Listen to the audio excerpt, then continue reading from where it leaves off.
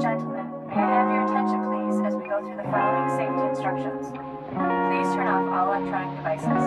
Once airborne, the captain will let you know when you can use or remove electronic devices. Thank you and enjoy your flight.